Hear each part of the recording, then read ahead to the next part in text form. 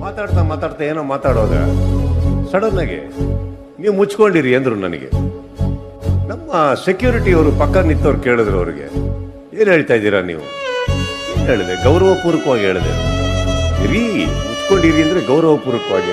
ನಮ್ಮ ಸೆಕ್ಯೂರಿಟಿ ಏನು ಮಾಡಿದ್ರು? ಇಮಿಡಿಯೇಟ್ ಆಗಿ ಒಂದು ಬಿಟ್ರು ಸರ್ ವಾಪಸ್. ನೀವು ಮುಚ್ಕೊಂಡಿರಿ ಅಂದ್ರು.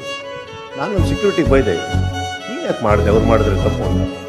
ಅದಕ್ಕೆ ಅವರು ಇಲ್ಲ ಸರ್.